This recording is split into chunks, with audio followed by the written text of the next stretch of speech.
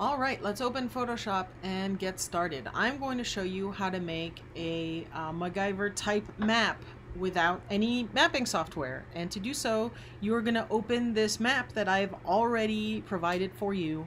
Um, this map I got from uh, Fred GIS, and then uh, all I did was export it as a PDF and then I moved the um, scale onto the image that I wanted instead of having it on the side. Um, but it's kind of an annoying thing and you don't have to deal with it, so I'm not going to make you deal with it.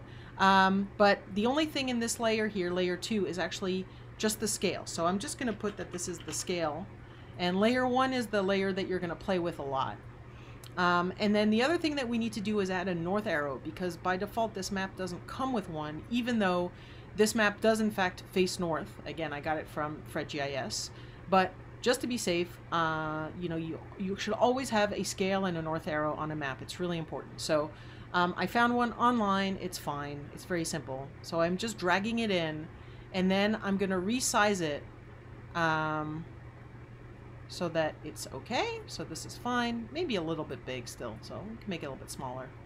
Uh, so it's called North Arrow already. Now you'll notice it doesn't look super great yet. So what I'm going to do is I'm going to zoom in and show you how to make it look a little bit better.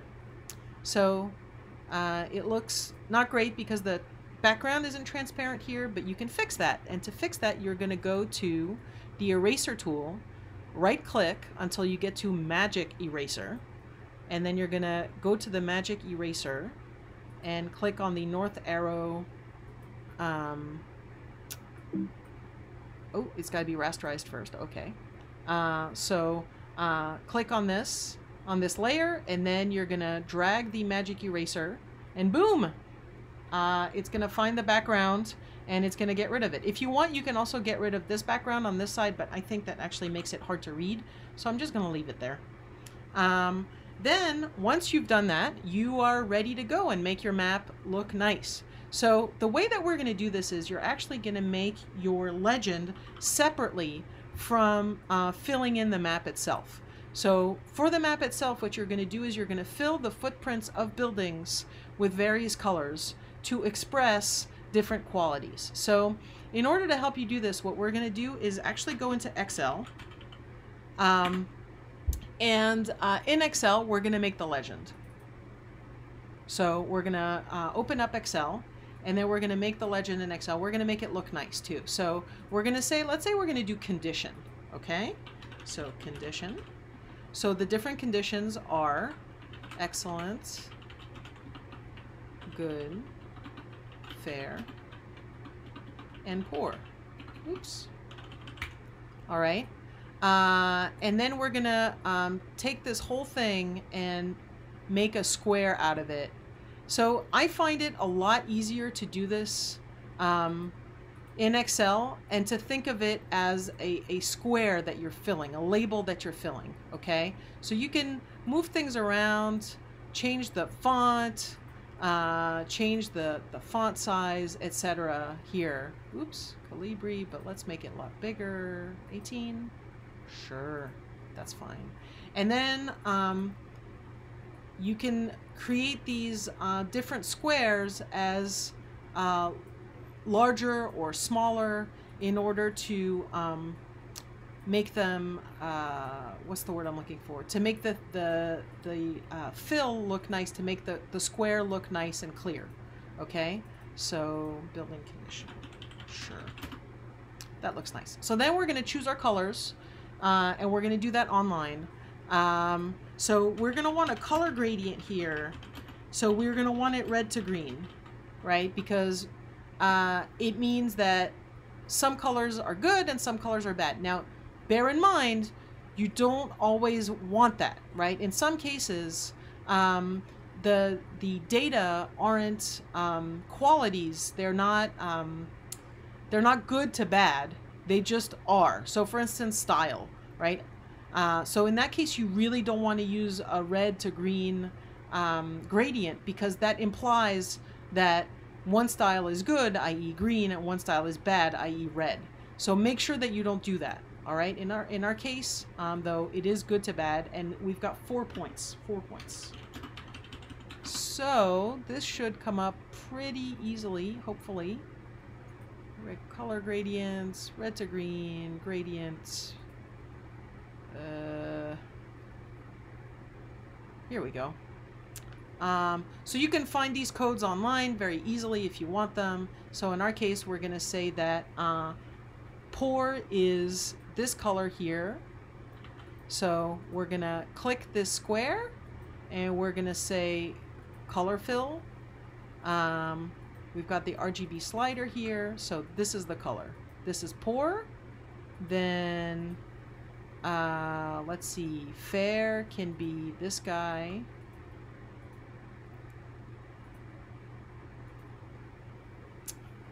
Uh, more colors. This guy. Fair. Oh. I think it should be... Huh. See, they made a mistake here. The code is actually wrong. So that's great. Um, so then this also shows you how to fix it. Well, one of these should actually be a zero and not an F. And then that should work, I think. More colors. F.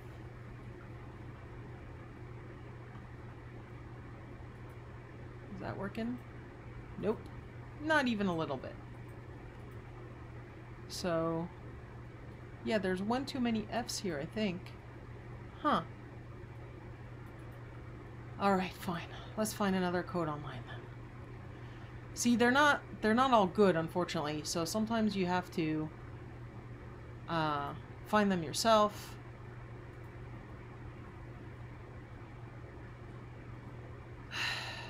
This is very annoying. I'm gonna have to start again, aren't I? I am. Alright, you know what? We're gonna do this the smart way. I'm just gonna choose a color. Boom.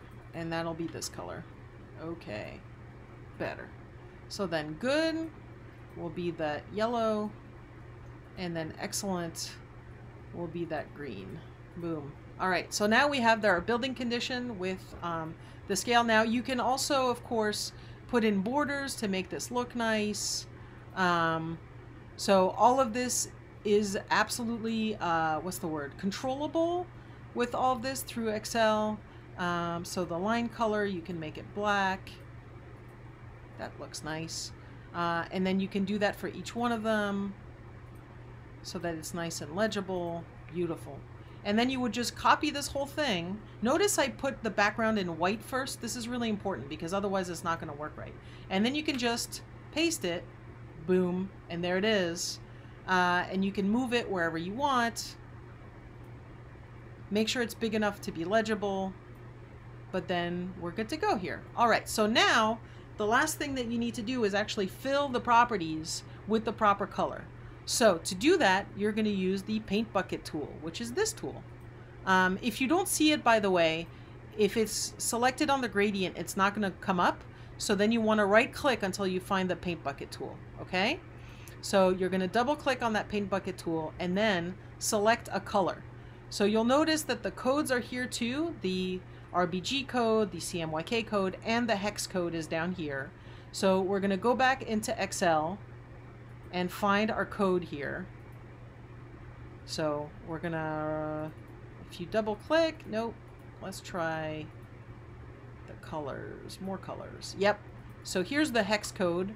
It's probably easier if you copy your hex code onto something else so that you know what your hex code is for each of these. Okay, so I've selected this hex code. Okay. And then I'm to go back into this over here and put the hex code in here, so now it is exactly matching. Then make sure you go back into layer one, otherwise it's not going to work. Zoom in into the area you want to do, and then figure out which buildings are in poor condition. And then you just fill in the footprint. It's that simple. You just fill the footprint. And then when you're done with those, you would go into the uh, fair one. So again, go back into Excel, figure out what the code is for this, because I don't have it listed anywhere else because I was too lazy. My bad. So it's this one, copy it, go back in here, put it in here, hit OK.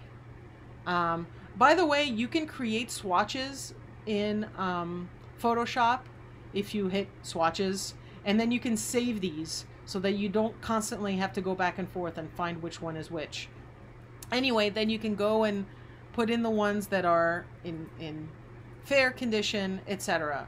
Now this will require you to go into the database and figure out the addresses. So the problem with this method isn't that it's hard, it's that it's just super tedious because you have to do each one manually. But in the end, it's actually relatively straightforward, and then you can change all of these things as necessary.